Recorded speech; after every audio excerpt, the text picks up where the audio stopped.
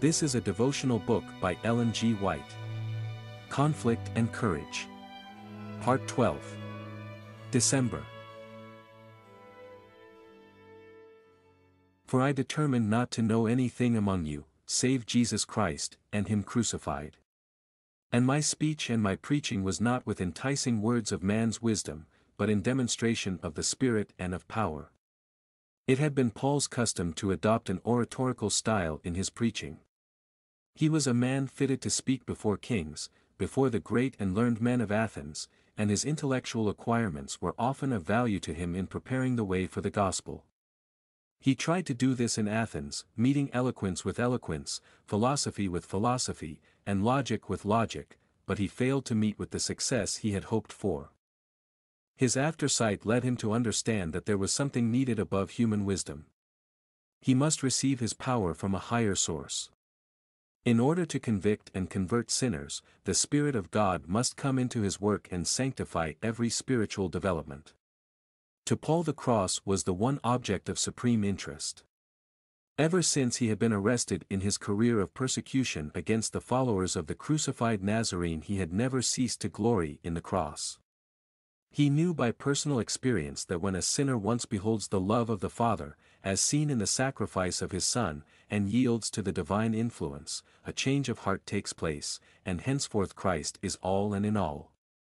At the time of his conversion, Paul was inspired with a longing desire to help his fellow men to behold Jesus of Nazareth as the Son of the living God, mighty to transform and to save.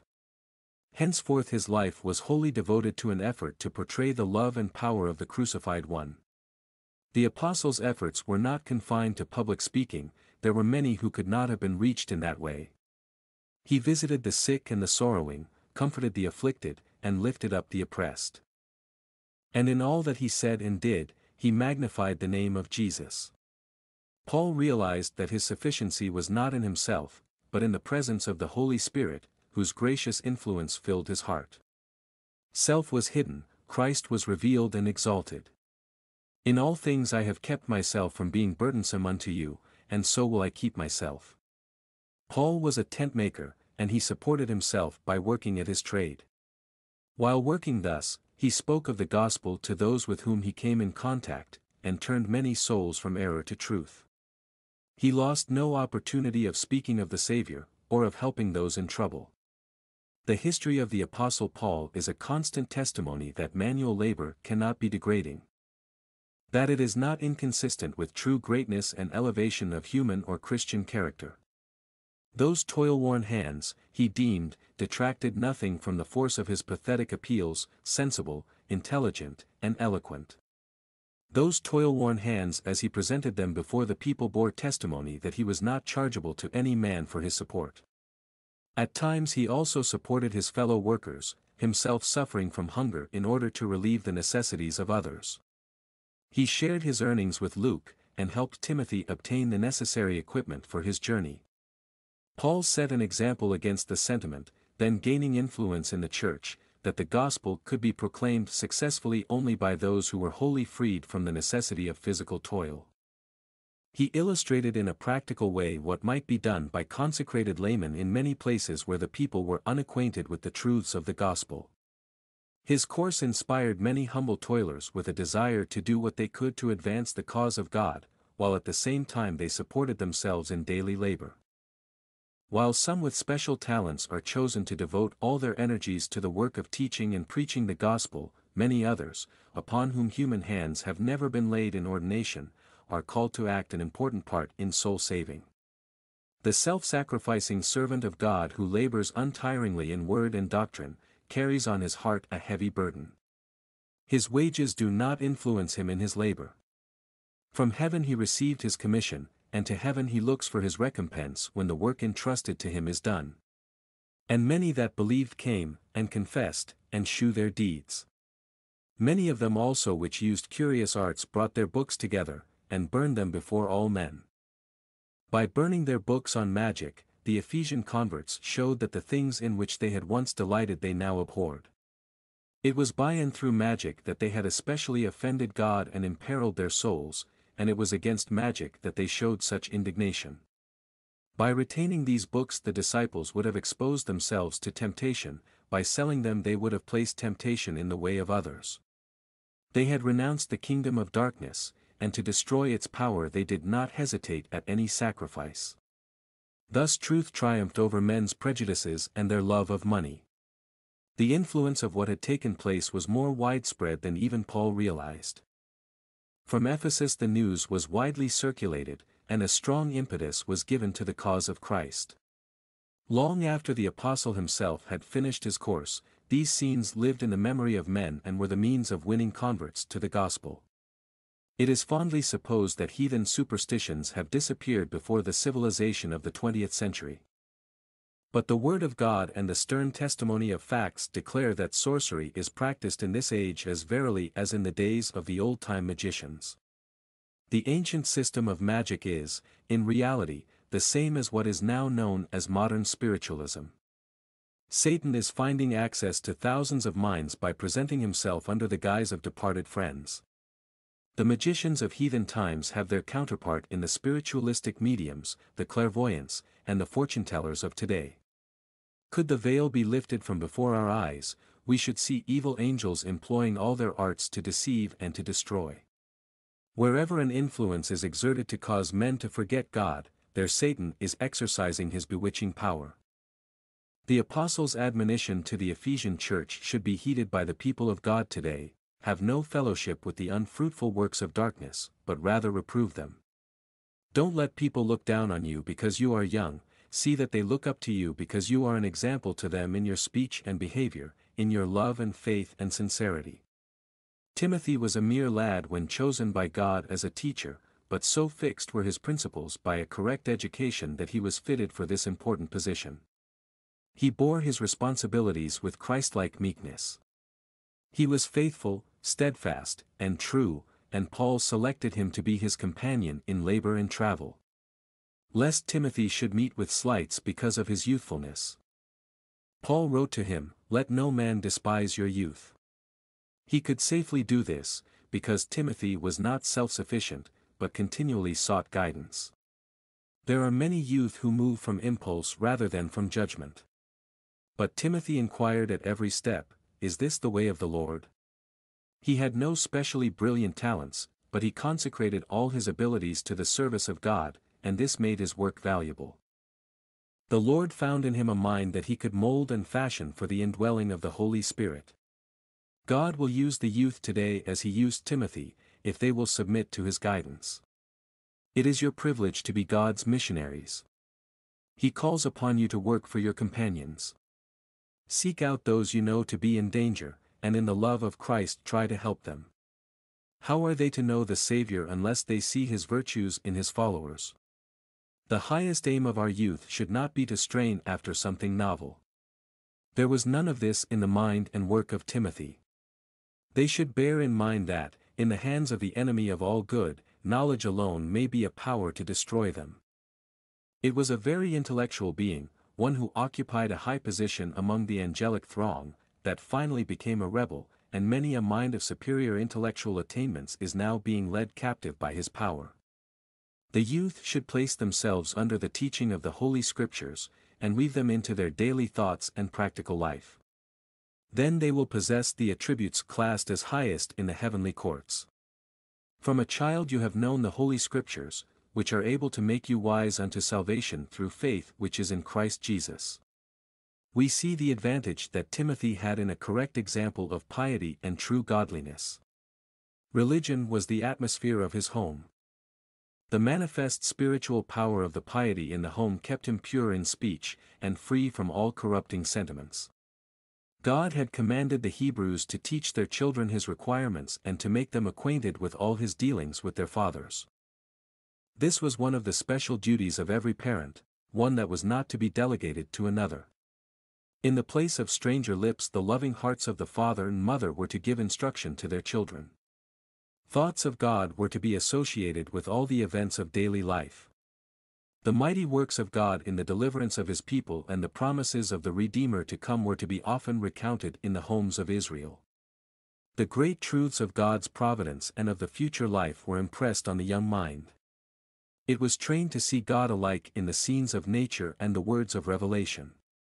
The stars of heaven, the trees and flowers of the field, the lofty mountains. The rippling brooks, all spoke of the Creator. The solemn service of sacrifice and worship at the sanctuary and the utterances of the prophets were a revelation of God. Such was the training of Moses in the lowly cabin home in Goshen, of Samuel, by the faithful Hannah, of David, in the hill dwelling at Bethlehem, of Daniel, before the scenes of the captivity separated him from the home of his fathers. Such, too, was the early life of Christ at Nazareth, such the training by which the child Timothy learned from the lips of his grandmother Lois, and his mother Eunice, the truths of Holy Writ. Parents, there is a great work for you to do for Jesus. Satan seeks to bind the children to himself as with bands of steel, and you can attain success in bringing them to Jesus only through determined personal effort. Do your best to present yourself to God as one approved, a workman who has no need to be ashamed, rightly handling the word of truth. Paul loved Timothy, his own son in the faith. The great apostle often drew the younger disciple out, questioning him in regard to scripture history, and as they traveled from place to place, he carefully taught him how to do successful work. The affection between Paul and Timothy began with Timothy's conversion, and the tie had strengthened as they had shared the hopes, the perils, and the toils of missionary life, till they seemed to be as one. The disparity in their ages and the difference in their characters made their love for each other more earnest. The ardent, zealous, indomitable spirit of Paul found repose and comfort in the mild, yielding, retiring disposition of Timothy. The faithful ministration and tender love of this tried companion had brightened many a dark hour in the apostle's life. All that a son could be to a loved and honored father, the youthful Timothy was to the tried and lonely Paul. Paul loved Timothy because Timothy loved God. His intelligent knowledge of experimental piety and of the truth gave him distinction and influence. The piety and influence of his home life was not of a cheap order, but pure, sensible, and uncorrupted by false sentiments. The Word of God was the rule which guided Timothy. Impressions of the highest possible order were kept before his mind. His home instructors cooperated with God in educating this young man to bear the burdens that were to come upon him at an early age. In his work, Timothy constantly sought Paul's advice and instruction. He did not move from impulse, but exercised consideration and calm thought. The Holy Spirit found in him one who could be molded and fashioned as a temple for the indwelling of the divine presence. As the lessons of the Bible are wrought into the daily life, they have a deep and lasting influence upon the character. These lessons Timothy learned and practiced. I charge you therefore before God, and the Lord Jesus Christ, who shall judge the quick and the dead at his appearing in his kingdom, preach the word, be instant in season, out of season, reprove, rebuke, exhort with all long-suffering and doctrine. In this his last letter to Timothy, Paul held up before the younger worker a high ideal, pointing out the duties devolving on him as a minister of Christ. Paul bids him preach the word, not the sayings and customs of men, to be ready to witness for God whenever opportunity should present itself, before large congregations and private circles, by the way and at the fireside, to friends and to enemies. Whether in safety or exposed to hardship and peril, reproach and loss. Fearing that Timothy's mild, yielding disposition might lead him to shun an essential part of his work, Paul exhorted him to be faithful in reproving sin and even to rebuke with sharpness those who were guilty of gross evils. Yet he was to do this with all long-suffering and doctrine. He was to reveal the patience and love of Christ. To hate and reprove sin, and at the same time to show pity and tenderness for the sinner, is a difficult attainment. The more earnest our own efforts to attain to holiness of heart and life, the more acute will be our perception of sin and the more decided our disapproval of any deviation from the right. We must guard against undue severity toward the wrongdoer, but we must also be careful not to lose sight of the exceeding sinfulness of sin.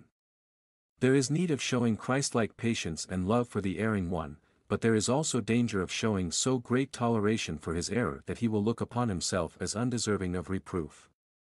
With the growing contempt for God's law there is an increasing distaste for religion, an increase of pride, love of pleasure, disobedience to parents, and self-indulgence, and thoughtful minds everywhere are anxiously inquiring. What can be done to correct these alarming evils? The answer is found in Paul's exhortation to Timothy, preach the word. In the Bible are found the only safe principles of action. It is a transcript of the will of God, an expression of divine wisdom. Pick up Mark and bring him with you, for I find him a useful assistant. Mark's mother was a convert to the Christian religion, and her home at Jerusalem was an asylum for the disciples. Mark proposed to Paul and Barnabas that he should accompany them on their missionary tour. He felt the favor of God in his heart and longed to devote himself entirely to the work of the gospel ministry. Their way was toilsome, they encountered hardships and privations. And were beset with dangers on every side. But Paul and Barnabas had learned to trust God's power to deliver. Their hearts were filled with fervent love for perishing souls. As faithful shepherds in search of the lost sheep, they gave no thought to their own ease and convenience. Forgetful of self, they faltered not when weary, hungry, and cold. They had in view but one object, the salvation of those who had wandered far from the fold. Mark, overwhelmed with fear and discouragement, wavered for a time in his purpose to give himself wholeheartedly to the Lord's work. Unused to hardships, he was disheartened by the perils and privations of the way. He had yet to learn to face danger and persecution and adversity with a brave heart. As the apostles advanced and still greater difficulties were apprehended, Mark was intimidated and, losing all courage, refused to go farther and returned to Jerusalem. This desertion caused Paul to judge Mark unfavorably, and even severely, for a time. Barnabas, on the other hand, was inclined to excuse him because of his inexperience. He felt anxious that Mark should not abandon the ministry, for he saw in him qualifications that would fit him to be a useful worker for Christ. In after years his solicitude in Mark's behalf was richly rewarded, for the young man gave himself unreservedly to the Lord and to the work of proclaiming the gospel message in difficult fields. Under the blessing of God, and the wise training of Barnabas, he developed into a valuable worker. Paul was afterward reconciled to Mark and received him as a fellow laborer. Love not the world, neither the things that are in the world. If any man love the world, the love of the Father is not in him. Among Paul's assistants at Rome were many of his former companions and fellow workers. Luke, the beloved physician, was with him still. Demas and Mark were also with him. Since the earlier years of his profession of faith, Mark's Christian experience had deepened. As he had studied more closely the life and death of Christ he had obtained clearer views of the Saviour's mission, its toils and conflicts. Reading in the scars in Christ's hands and feet the marks of his service for humanity, and the length to which self-abnegation leads to save the lost and perishing, Mark had become willing to follow the Master in the path of self-sacrifice. Now, sharing the lot of Paul the prisoner, he understood better than ever before that it is infinite gain to win Christ, infinite loss to win the world and lose the soul for whose redemption the blood of Christ was shed. In the face of severe trial and adversity, Mark continued steadfast, a wise and beloved helper of the apostle. Demas, steadfast for a time, afterward forsook the cause of Christ. In referring to this, Paul wrote, Demas has forsaken me, having loved this present world. For worldly gain, Demas bartered every high and noble consideration. How short-sighted the exchange! Possessing only worldly wealth or honor, Demas was poor indeed, however much he might proudly call his own, while Mark, choosing to suffer for Christ's sake, possessed eternal riches, being accounted in heaven an heir of God and a joint heir with his Son. If we would permit our minds to dwell more upon Christ and the heavenly world, we should find a powerful stimulus and support in fighting the battles of the Lord. Pride and love of the world will lose their power as we contemplate the glories of that better land so soon to be our home. Beside the loveliness of Christ, all earthly attractions will seem of little worth. Not now as a servant, but above a servant, a brother beloved, specially to me, but how much more unto you, both in the flesh, and in the Lord. Among those who gave their hearts to God through the labors of Paul in Rome was Onesimus, a pagan slave who had wronged his master, Philemon, a Christian believer in Colosse, and had escaped to Rome. In the kindness of his heart, Paul sought to relieve the poverty and distress of the wretched fugitive and then endeavored to shed the light of truth into his darkened mind.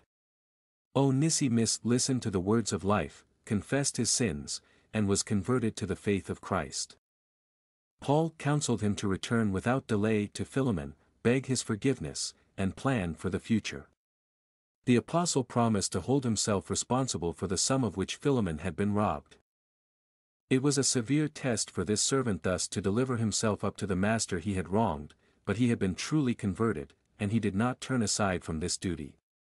Paul's letter to Philemon shows the influence of the gospel upon the relation between master and servant. Slaveholding was an established institution throughout the Roman Empire, and both masters and slaves were found in most of the churches for which Paul labored. It was not the apostles' work to overturn arbitrarily or suddenly the established order of society. To attempt this would be to prevent the success of the gospel. But he taught principles which struck at the very foundation of slavery and which, if carried into effect, would surely undermine the whole system. When converted, the slave became a member of the body of Christ, and as such was to be loved and treated as a brother, a fellow heir with his master to the blessings of God and the privileges of the gospel. On the other hand, servants were to perform their duties, not with eye service, as men pleasers, but as the servants of Christ, doing the will of God from the heart. Christianity makes a strong bond of union between master and slave, king and subject. They have been washed in the same blood, quickened by the same Spirit, and they are made one in Christ Jesus. Let us lay aside every weight, and the sin which doth so easily beset us, and let us run with patience the race that is set before us. Looking unto Jesus the author and finisher of our faith. In the Epistle to the Hebrews is pointed out the single-hearted purpose that should characterize the Christian's race for eternal life. Envy, malice, evil thinking, evil speaking, covetousness, these are weights that the Christian must lay aside if he would run successfully the race for immortality. Every habit or practice that leads into sin and brings dishonor upon Christ must be put away, whatever the sacrifice. Know you not, Paul asked, that they which run in a race run all, but one receives the prize?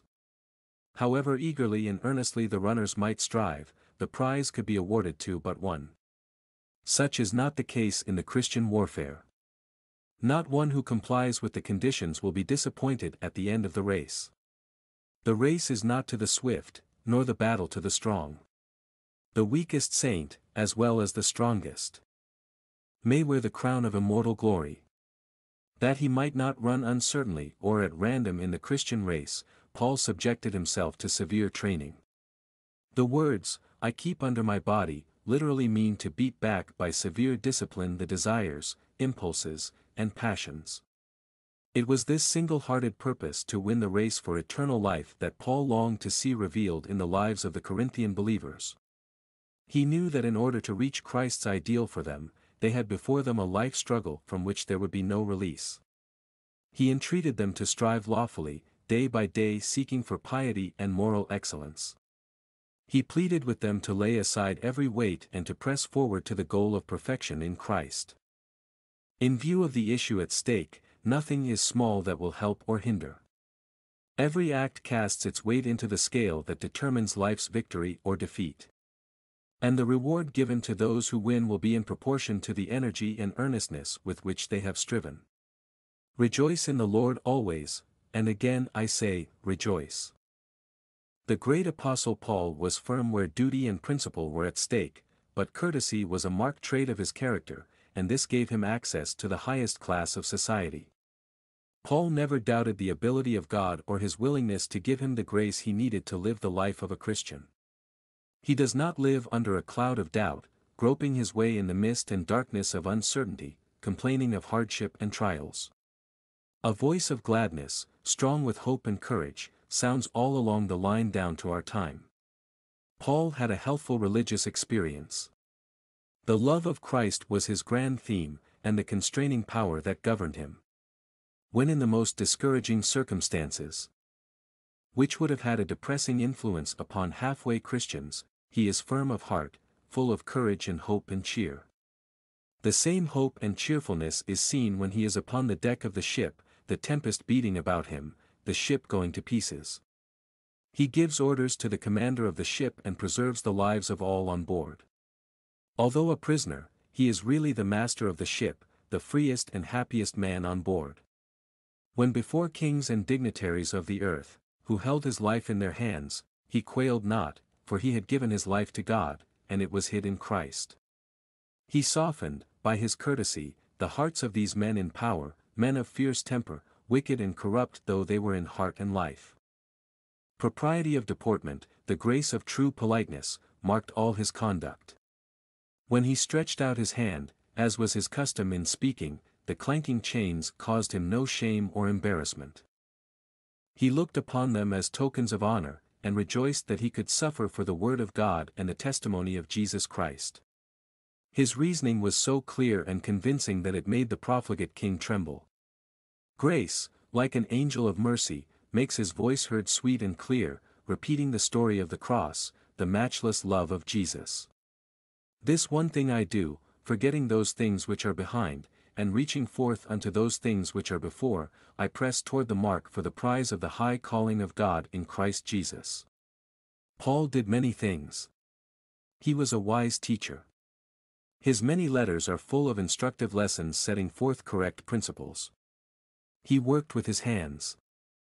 For he was a tent maker, and in this way earned his daily bread. He carried a heavy burden for the churches.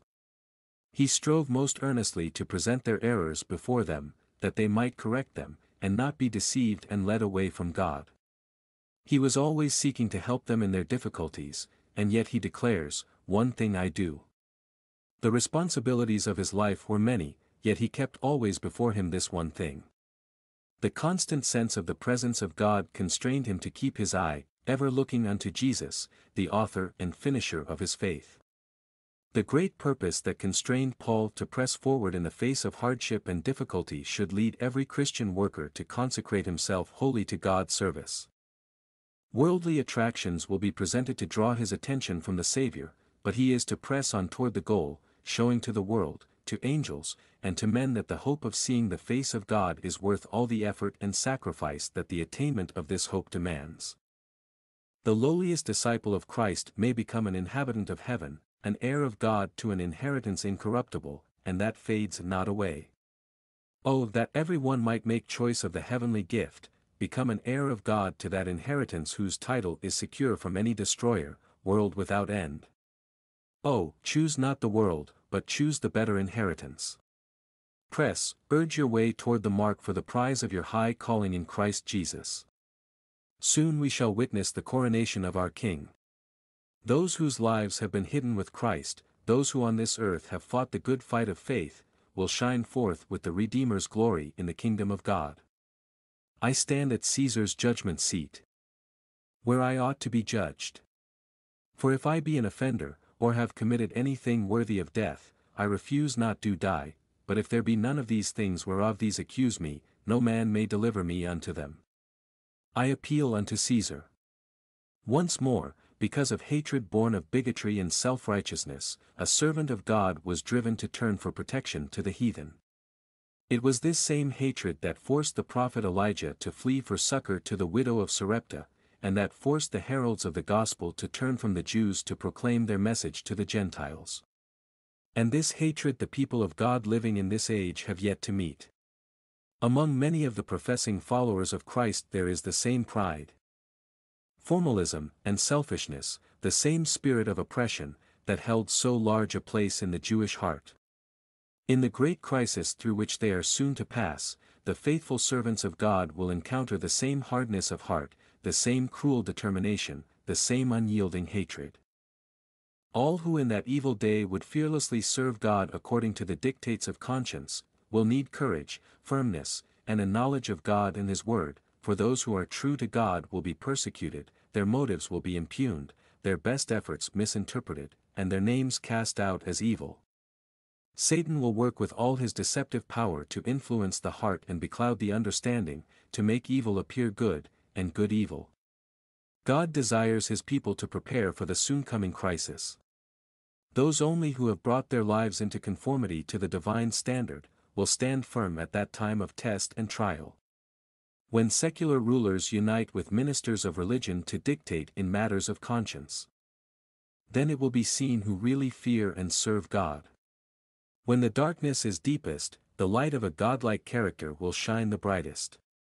And while the enemies of truth are on every side, watching the Lord's servants for evil, God will watch over them for good. He will be to them as the shadow of a great rock in a weary land. At my first answer no man stood with me, but all men forsook me. Notwithstanding the Lord stood with me, and strengthened me, that by me the preaching might be fully known, and that all the Gentiles might hear. When Paul was summoned to appear before the Emperor Nero for trial, it was with the near prospect of certain death. Among the Christians at Rome, there was not one who came forward to stand by him in that trying hour. Paul before Nero, how striking the contrast. The name of Nero made the world tremble. To incur his displeasure was to lose property, liberty, life, and his frown was more to be dreaded than a pestilence. Without money, without friends, without counsel, the aged prisoner stood before Nero, the countenance of the emperor bearing the shameful record of the passions that raged within, the face of the accused telling of a heart at peace with God. How could Nero, a capricious, passionate, licentious tyrant, be expected to understand or appreciate the character and motives of this Son of God? The results of opposite systems of education stood that day contrasted, a life of unbounded self-indulgence and a life of entire self-sacrifice. Here were the representatives of two theories of life, all-absorbing selfishness. Which counts nothing too valuable to be sacrificed for momentary gratification, and self-denying endurance, ready to give up life itself, if need be, for the good of others. The people and the judges looked at him in surprise. They had been present at many trials, and had looked upon many a criminal, but never had they seen a man wear a look of such holy calmness. His words struck a chord that vibrated in the hearts even of the most hardened. Truth, clear and convincing, overthrew error. The words spoken on this occasion were destined to shake nations. Faithful among the faithless, loyal among the disloyal, he stands as God's representative, and his voice is as a voice from heaven. His words are as a shout of victory above the roar of battle. I have fought a good fight, I have finished my course, I have kept the faith, henceforth there is laid up for me a crown of righteousness, which the Lord, the righteous judge, shall give me at that day, and not to me only, but unto all them also that love his appearing. Through his long term of service, Paul had never faltered in his allegiance to his Saviour. Wherever he was, whether before scowling Pharisees, or Roman authorities, before the furious mob at Lystra, or the convicted sinners in the Macedonian dungeon, whether reasoning with the panic-stricken sailors on the shipwrecked vessel, or standing alone before Nero to plead for his life, he had never been ashamed of the cause he was advocating. The one great purpose of his Christian life had been to serve him whose name had once filled him with contempt, and from this purpose no opposition or persecution had been able to turn him aside. Paul's life was an exemplification of the truths he taught. And herein lay his power. His heart was filled with a deep, abiding sense of his responsibility, and he labored in close communion with him who is the fountain of justice, mercy, and truth. The love of the Savior was the undying motive that upheld him in his conflicts with self and in his struggles against evil as in the service of Christ he pressed forward against the unfriendliness of the world and the opposition of his enemies. What the church needs in these days of peril is an army of workers who, like Paul, have educated themselves for usefulness, who have a deep experience in the things of God, and who are filled with earnestness and zeal. Sanctified, self-sacrificing men are needed. Men who will not shun trial and responsibility, men who are brave and true, men in whose hearts Christ is formed the hope of glory, and who with lips touched with holy fire will preach the word. Will our young men accept the holy trust at the hands of their fathers? Are they preparing to fill the vacancies made by the death of the faithful? Will the apostles' charge be heeded, the call to duty be heard, amidst the incitements to selfishness and ambition that allure the youth? Herein is love, not that we loved God, but that he loved us, and sent his Son to be the propitiation for our sins. Beloved, if God so loved us, we ought also to love one another. After the ascension of Christ, John stands forth as a faithful, earnest laborer for the Master.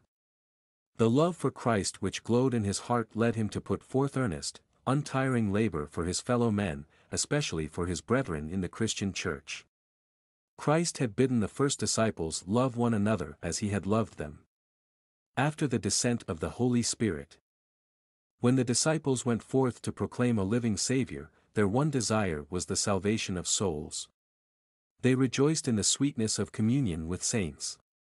They were tender, thoughtful, self-denying, willing to make any sacrifice for the truth's sake.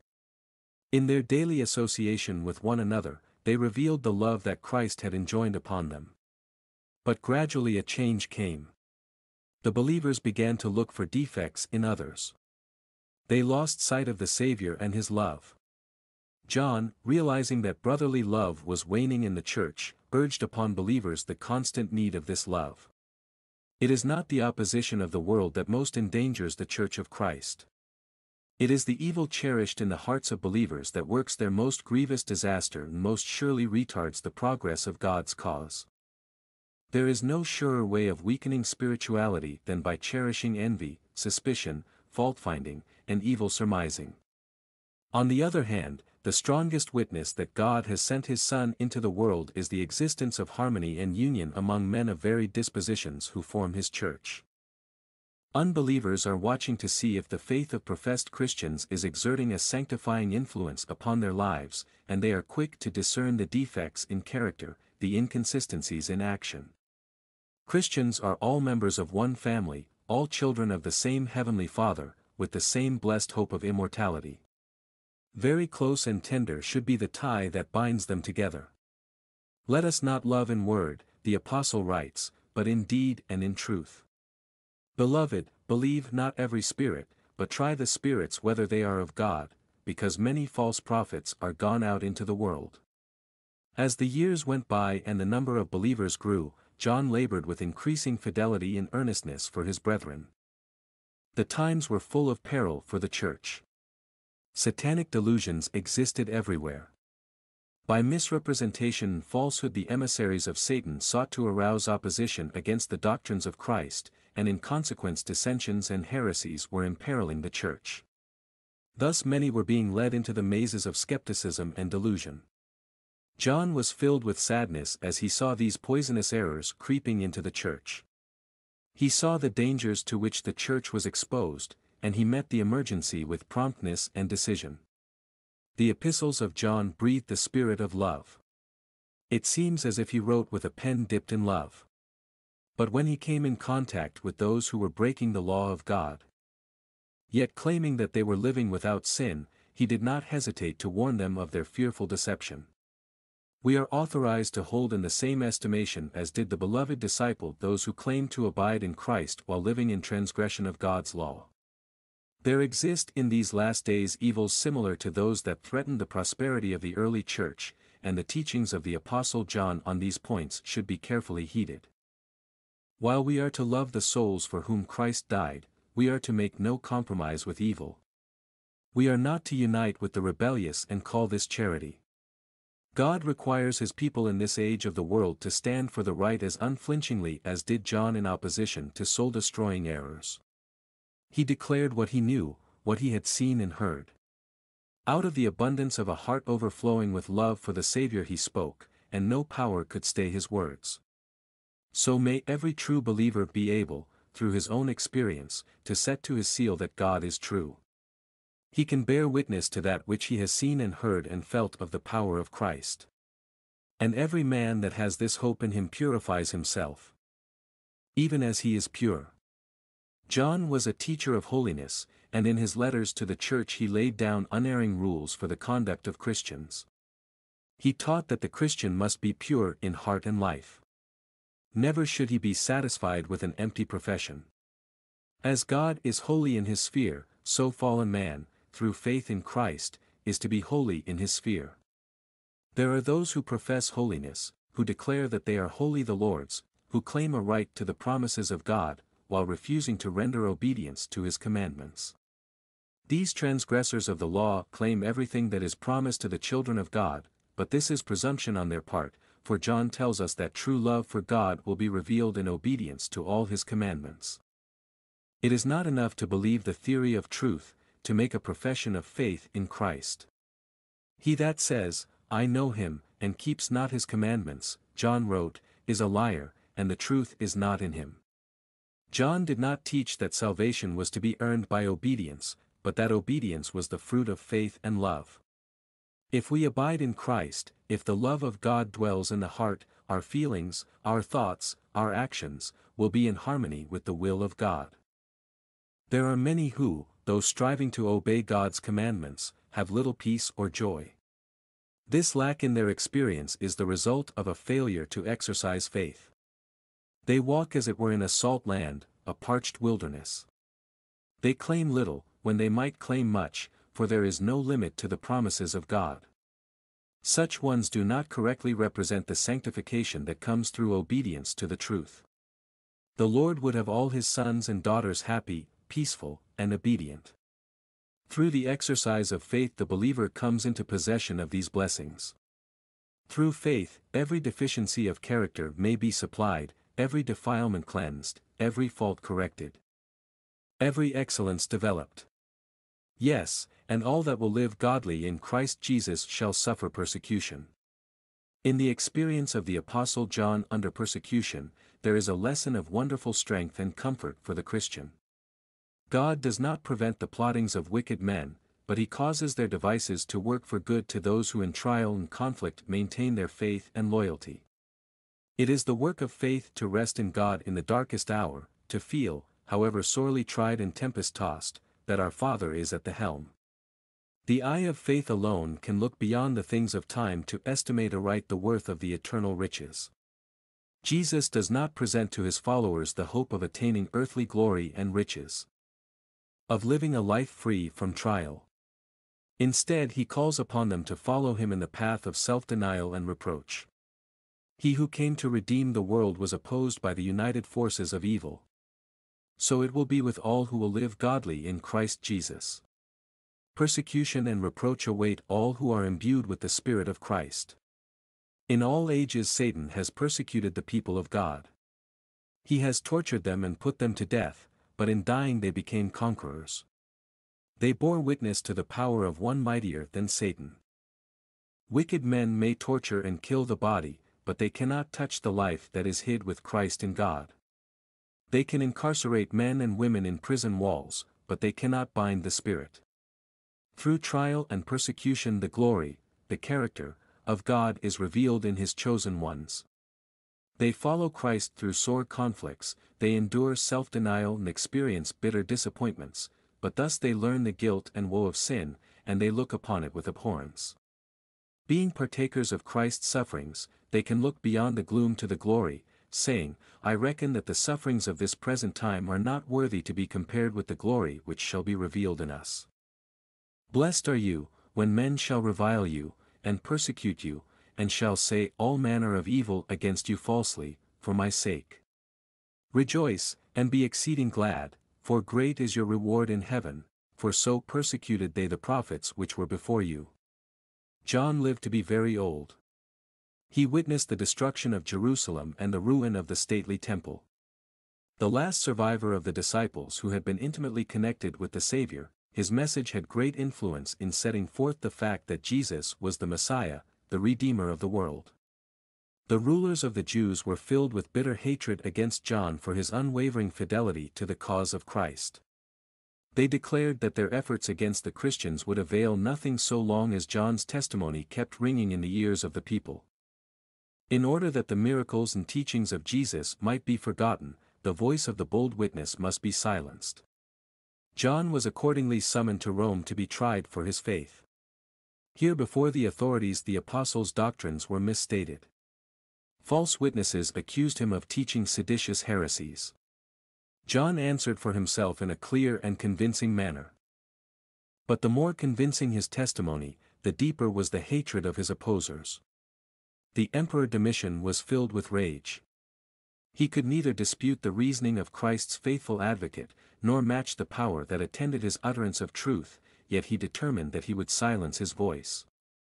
John was cast into a cauldron of boiling oil, but the Lord preserved the life of his faithful servant, even as he preserved the three Hebrews in the fiery furnace. As the words were spoken, thus perish all who believe in that deceiver, Jesus Christ of Nazareth, John declared, my master patiently submitted to all that Satan and his angels could devise to humiliate and torture him. He gave his life to save the world. I am honored in being permitted to suffer for his sake. I am a weak, sinful man. Christ was holy, harmless, undefiled. He did no sin, neither was guile found in his mouth. These words had their influence, and John was removed from the cauldron by the very men who had cast him in. Fear none of those things which you shall suffer, behold, the devil shall cast some of you into prison, that you may be tried, be faithful unto death, and I will give you a crown of life. By the emperor's decree John was banished to the Isle of Patmos, condemned for the word of God, and for the testimony of Jesus Christ. Here, his enemies thought, his influence would no longer be felt, and he must finally die of hardship and distress. Patmos, a barren, rocky island in the Aegean Sea, had been chosen by the Roman government as a place of banishment for criminals, but to the servant of God this gloomy abode became the gate of heaven. Here, shut away from the busy scenes of life, and from the active labors of former years, he had the companionship of God and Christ and the heavenly angels, and from them he received instruction for the church for all future time. Among the cliffs and rocks of Patmos, John held communion with his Maker. He reviewed his past life, and at thought of the blessings he had received, peace filled his heart. In his isolated home John was able to study more closely than ever before the manifestations of divine power as recorded in the book of nature and in the pages of inspiration. In former years his eyes had been greeted by the sight of forest-covered hills, green valleys, and fruitful plains, and in the beauties of nature it had ever been his delight to trace the wisdom and skill of the Creator. He was now surrounded by scenes that to many would appear gloomy and uninteresting, but to John it was otherwise. While his surroundings might be desolate and barren, the blue heavens that bent above him were as bright and beautiful as the skies above his loved Jerusalem. In the wild, rugged rocks, in the mysteries of the deep, in the glories of the firmament, he read important lessons. All bore the message of God's power and glory. By the rocks he was reminded of Christ, the rock of his strength, in whose shelter he could hide without fear. From the exiled apostle on rocky Patmos there went up the most ardent longing of soul after God, the most fervent prayers. And even to your old age I am he, and even to hoar hairs will I carry you, I have made, and I will bear, even I will carry, and will deliver you. The history of John affords a striking illustration of the way in which God can use aged workers. When John was exiled to the Isle of Patmos, there were many who thought him to be past service. An old and broken reed, ready to fall at any time. But the Lord saw fit to use him still. Though banished from the scenes of his former labor, he did not cease to bear witness to the truth. Even in Patmos he made friends and converts. His was a message of joy, proclaiming a risen Savior. The most tender regard should be cherished for those whose life interest has been bound up with the work of God. These aged workers have stood faithful amid storm and trial. They may have infirmities, but they still possess talents that qualify them to stand in their place in God's cause. Though worn and unable to bear the heavier burdens that younger men can and should carry, the counsel they can give is of the highest value. They may have made mistakes, but from their failures they have learned to avoid errors and dangers, and are they not therefore competent to give wise counsel? They have borne test and trial, and though they have lost some of their vigor, the Lord does not lay them aside. He gives them special grace and wisdom. The Lord desires the younger laborers to gain wisdom, strength, and maturity by association with these faithful men. As those who have spent their lives in the service of Christ draw near to the close of their earthly ministry, they will be impressed by the Holy Spirit to recount the experiences they have had in connection with the work of God. The record of his wonderful dealings with his people, of his great goodness in delivering them from trial, should be repeated to those newly come to the faith. God desires the old and tried laborers to stand in their place, doing their part to save men and women from being swept downward by the mighty current of evil. He desires them to keep the armor until he bids them lay it down. O give thanks unto the Lord. Call upon his name, make known his deeds among the people. Sing unto him, sing psalms unto him, talk of all his wondrous works. The dealings of God with his people should be often repeated. How frequently were the waymarks set up by the Lord in his dealings with ancient Israel. Lest they should forget the history of the past, he commanded Moses to frame these events into song, that parents might teach them to their children. They were to gather up memorials and to lay them up in sight. Special pains were taken to preserve them, that when the children should inquire concerning these things, the whole story might be repeated. Thus the providential dealings and the marked goodness and mercy of God in his care and deliverance of his people were kept in mind. We are exhorted to call to remembrance the former days, in which, after you were illuminated, you endured a great fight of afflictions. For his people in this generation the Lord has wrought as a wonder-working God. We need often to recount God's goodness and to praise Him for His wonderful works. Let us not cast away our confidence, but have firm assurance. Firmer than ever before. Hitherto has the Lord helped us, and He will help us to the end. Let us look to the monumental pillars, reminders of what the Lord has done to comfort us and to save us from the hand of the destroyer. Let us keep fresh in our memory all the tender mercies that God has shown us, the tears he has wiped away, the pains he has soothed, the anxieties removed, the fears dispelled, the wants supplied, the blessings bestowed, thus strengthening ourselves for all that is before us through the remainder of our pilgrimage. We cannot but look forward to new perplexities in the coming conflict, but we may look on what is past as well as on what is to come, and say, Hitherto has the Lord helped us. As your days, so shall your strength be. The trial will not exceed the strength that shall be given us to bear it. Then let us take up our work just where we find it, believing that whatever may come, strength proportionate to the trial will be given. From the rising of the sun unto the going down of the same the Lord's name is to be praised. The Bible has little to say in praise of men. Little space is given to recounting the virtues of even the best men who have ever lived. This silence is not without purpose, it is not without a lesson.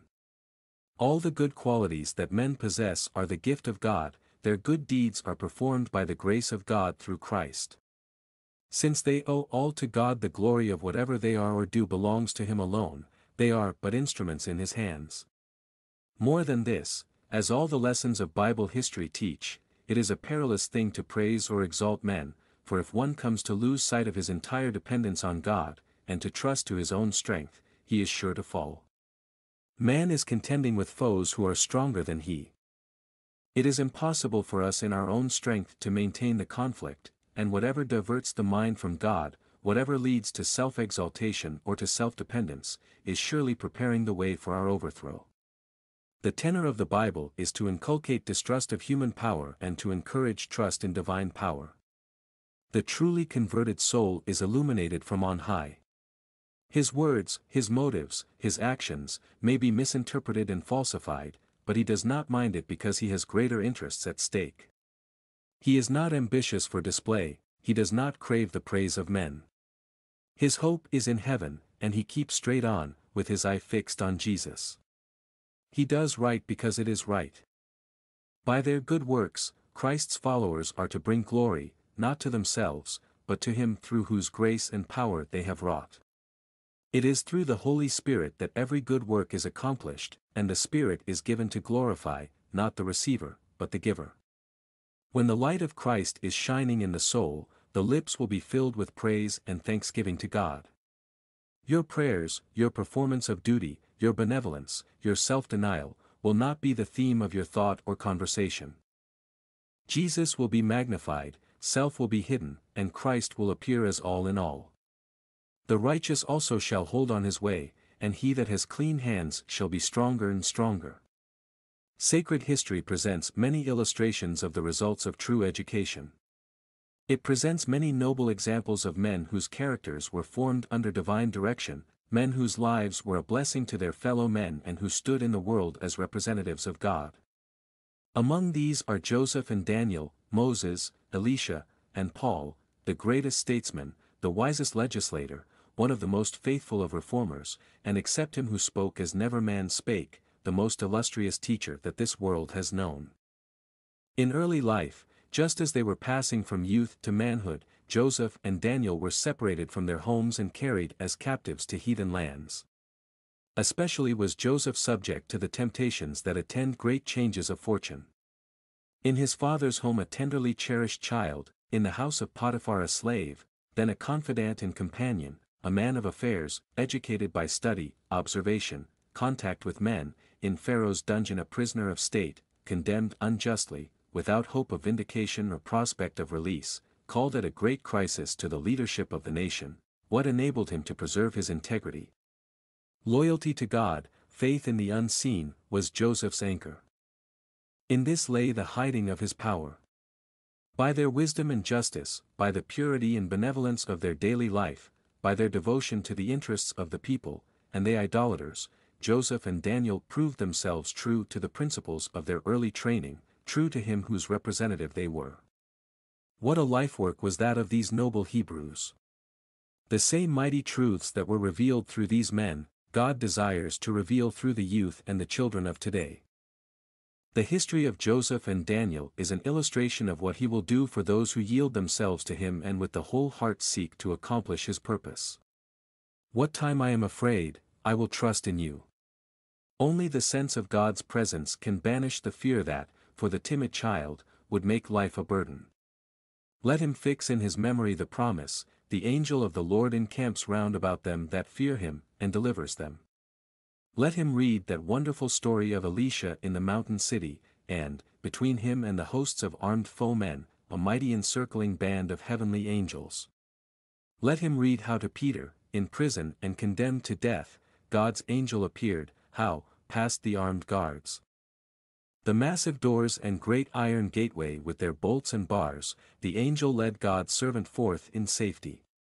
Let him read of that scene on the sea, when to the tempest-tossed soldiers and sea men, worn with labor and watching and long fasting, Paul the prisoner, on his way to trial and execution, spoke those grand words of courage and hope, Be of good cheer, for there shall be no loss of any man's life among you.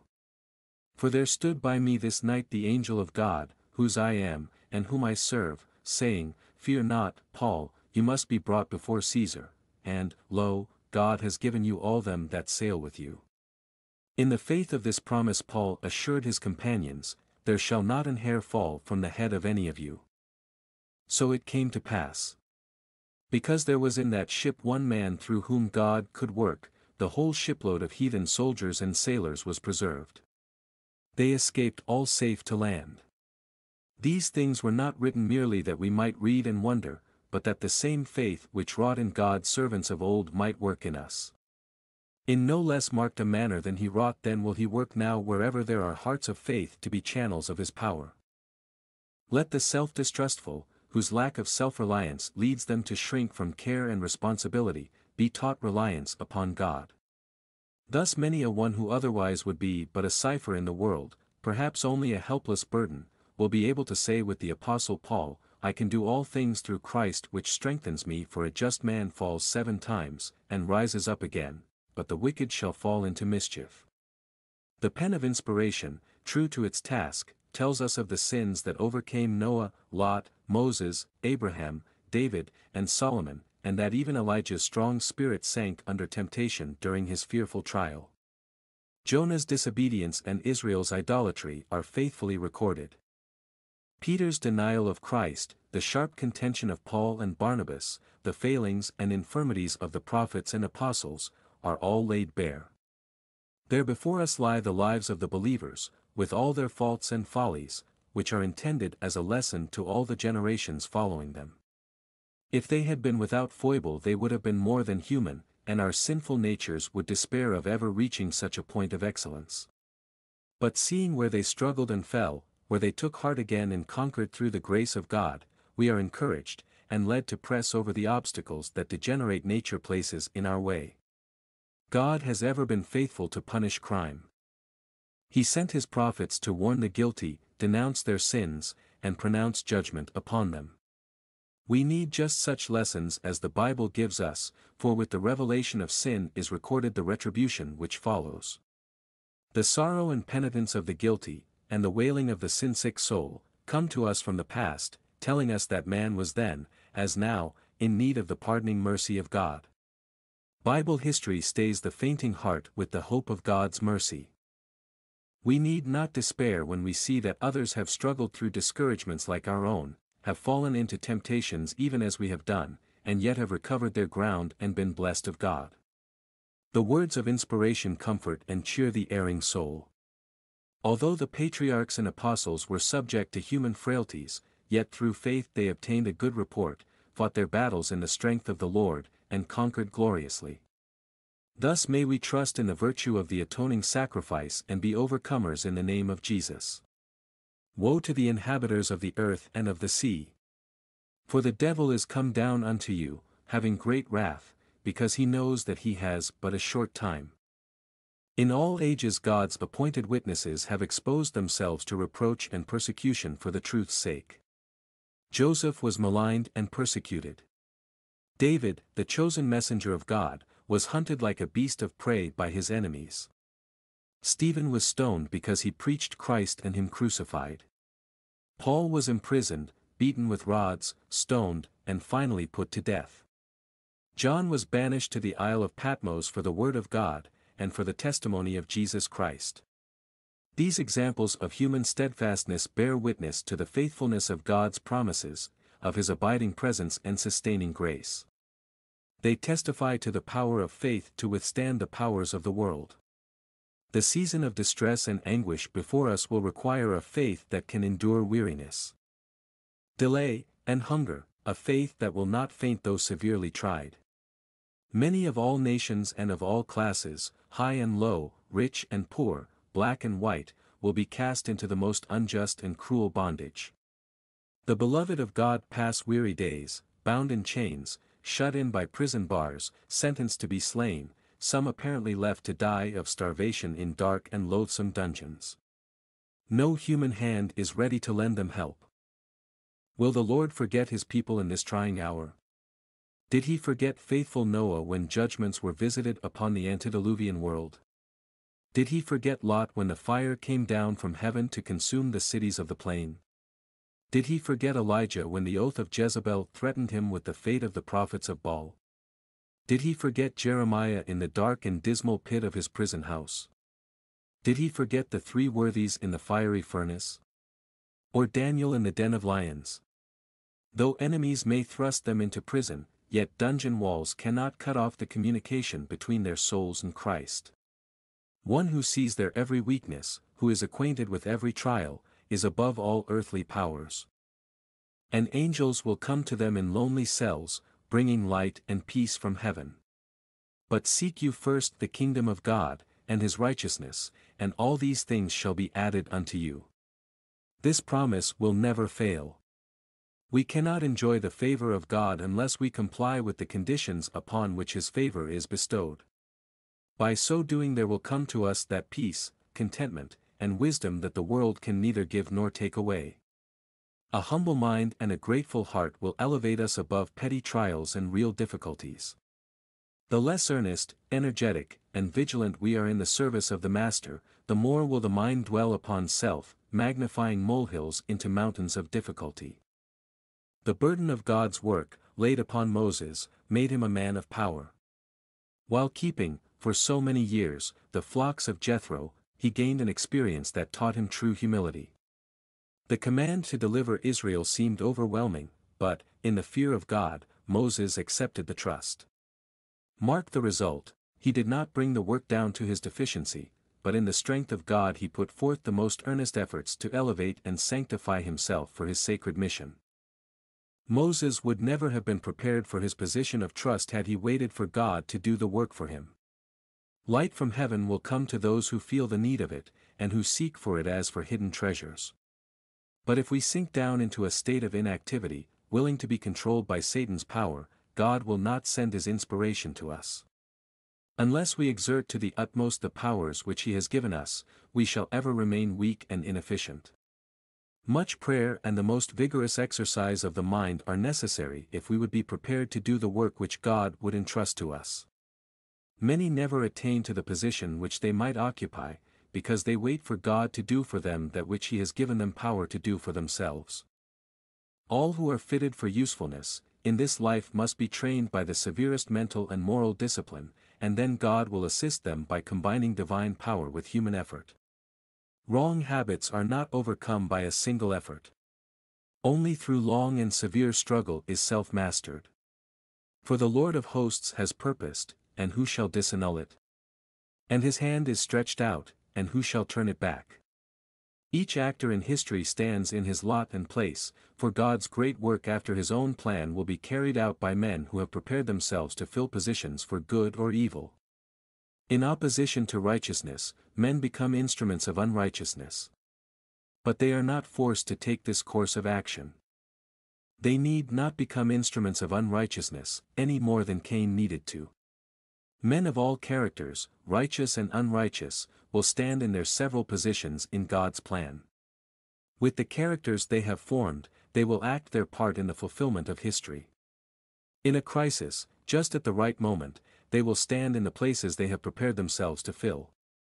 Believers and unbelievers will fall into line as witnesses to confirm truth that they themselves do not comprehend. All will cooperate in accomplishing the purposes of God, just as did Annas, Caiaphas, Pilate, and Herod.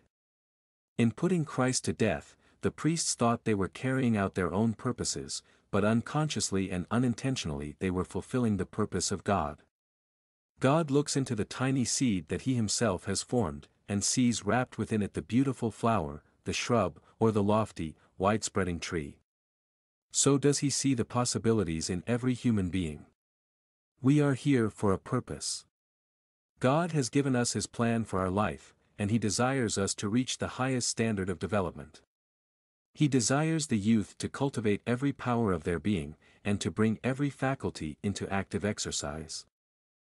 Let them look to Christ as the pattern after which they are to be fashioned.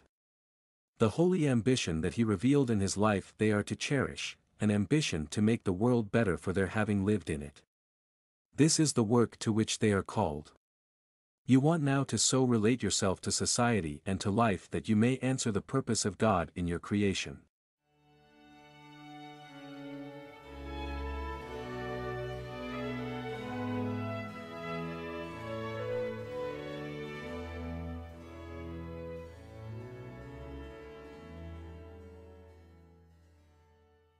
Hopefully this devotional book has been a blessing to you. Go ahead and listen also to the other ones and find the wonderful hidden spiritual treasures in them. God bless.